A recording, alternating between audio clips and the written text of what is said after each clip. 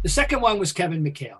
Loaded that one in the middle. Robey would have had a good chance to get an easy two. And here comes the rookie from the University of Minnesota, Kevin McHale.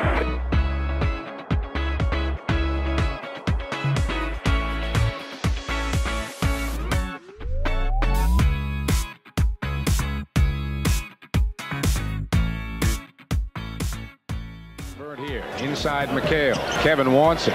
Good fake. Got to. Kevin McHale is, was as a rookie established that he could play both forward and center, better at forward, quite frankly, but uh, and and, uh, and be, play, be an effective center when needed. But would, but just do keep in mind that Bill Fitch, uh, when he was in his bad mood in 1983 after the team was swept by the Bucks, did say, "quote If Kevin McHale had to make a living in the center, he'd starve." Well, that was that was mean and cool, and that was typical Bill. I love Bill, by the way, but he had that side in him.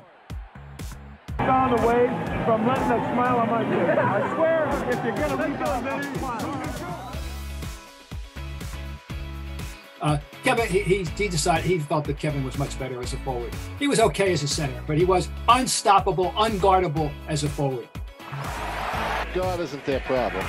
They obviously need consistent inside help because we Right. don't. 16 on the shot clock. 22 in the period. McHale breaks that round.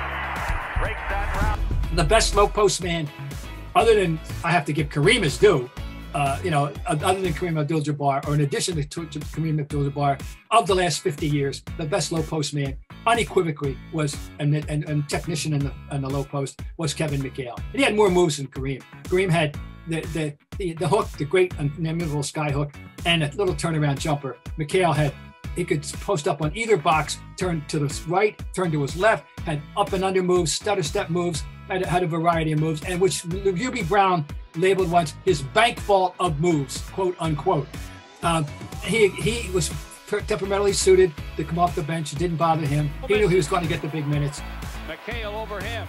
Make it 10-6. Gamble. Back to Bird. The clock's at seven. McHale with a dotted line turn and gun. He Kevin shows a lot of moves. Jimmy's got to knock him off that close area. He's got to get him off the block area.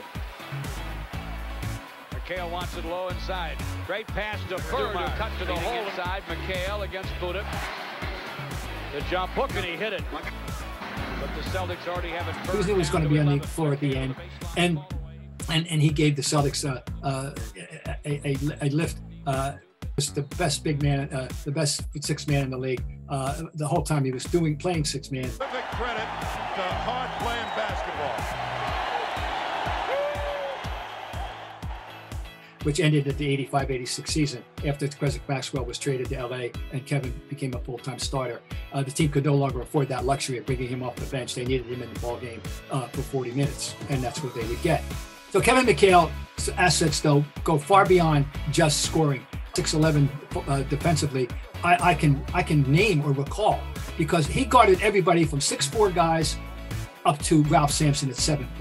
Uh, he was the guy that they asked to guard Dominique Wilkins. He's the guy who was asked uh, at to guard Julius Erving.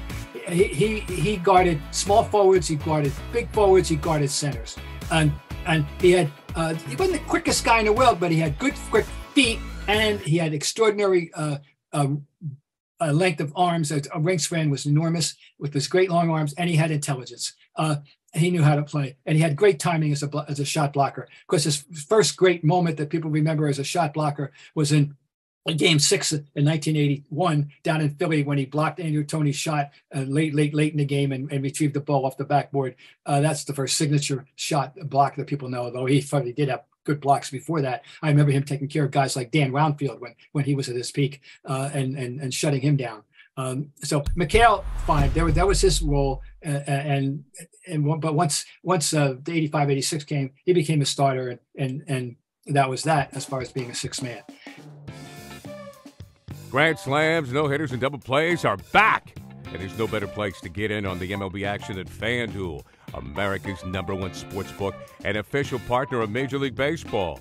And new customers in Mass can get in on the action with $200 in bonus bets, guaranteed when you place your first $5 bet.